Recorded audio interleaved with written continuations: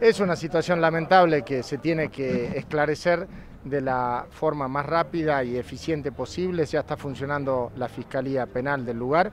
Entiendo que también este, desde el Consejo Deliberante estaban evaluando lo que tenían que hacer, así que vamos obviamente a, respetar la institucionalidad, a ver qué se resuelve en el bordo, pero obviamente nosotros repudiamos cualquier cosa que pueda este, ver afectado toda una, acción que nosotros venimos llevando hace mucho tiempo para que en Salta esas cosas no pasen. El presidente del foro de, intendentes dijo que era un intendente que por allí les gustaba mucho la fiesta.